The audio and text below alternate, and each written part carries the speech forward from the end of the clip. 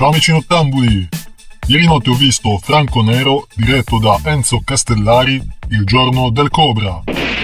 Ultima collaborazione tra regista e attore, film uscito nei cinema il 12 agosto 1980.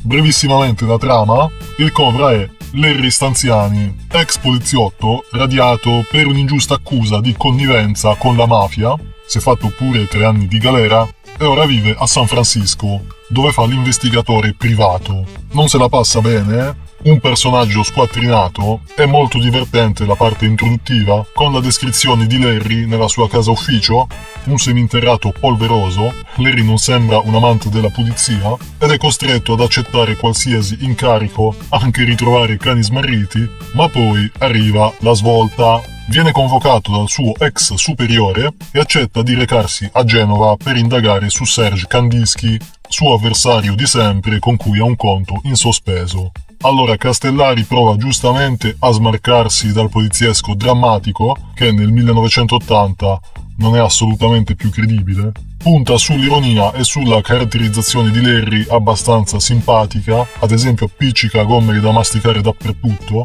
e anche perché la trama è la solita storia di traffico di droga vista mille volte in altri film, quindi queste sfumature ironiche servono a differenziare il film da altri, anche se non manca qualche momento drammatico. Bisogna dire però che alcune scene sono un copia e incolla di altri film di Nero e Castellari. Ad esempio la scena in cui Massimo Vanni viene sparato ai testicoli, con una dinamica identica a quella vista in La polizia incrimina, la legge assolve, e poi il destino del figlio di Larry, anche quello identico alla polizia incrimina, ma anche il cacciatore di squali.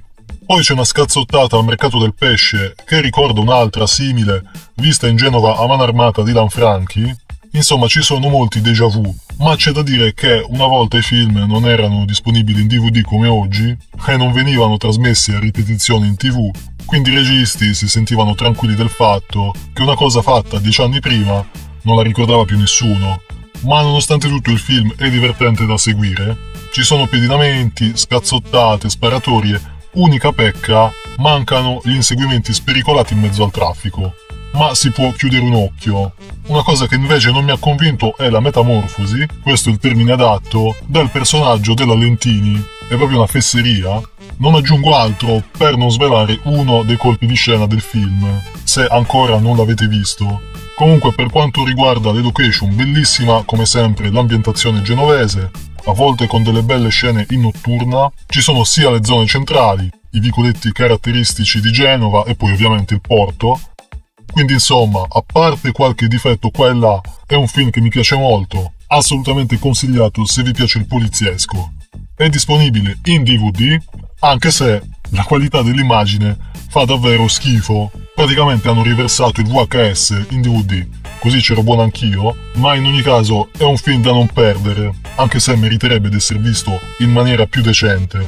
Quindi film consigliato, se non sapete che film vedere ve li consiglio o ve li sconsiglio io. Ci sentiamo alla prossima, ciao amici nottambuli!